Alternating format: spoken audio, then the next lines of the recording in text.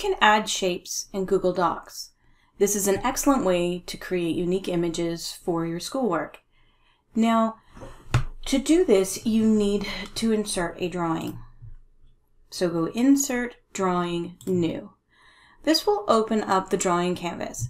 Now you'll notice there's a checkered background. This is see-through and it will not show in your picture. Pick shapes and make a selection. I'm going to pick a cloud. Now you can format the fill color, line color, line weight, or line style. I'm just going to make some quick selections. I'll make it have a blue outline. I'll make it kind of thick. Um, I'll give it a fancy outline. Now, when it comes to fill color, you can have a solid or you can have a gradient. And there's a wide range of choices to pick from. They have preset gradients, but if you're really creating custom work, you want to make your own. So to do that, click Custom. You have a couple of choices. You can have linear or you can have radial.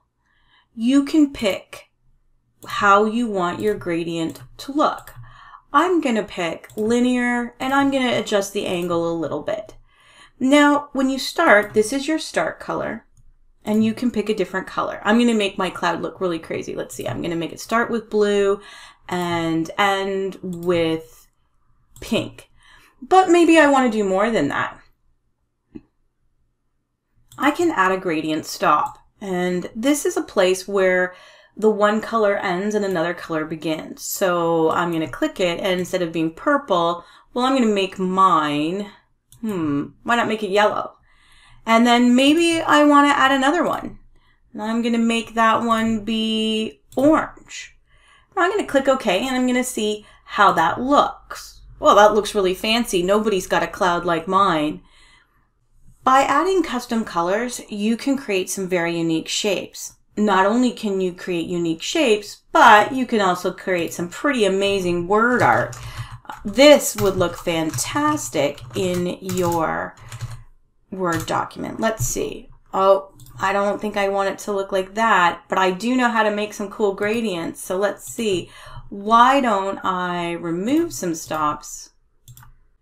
Instead, I'm going to have it be white with green. And this time I'm going to make it radial and I'm going to click OK and I'm going to switch it up even more.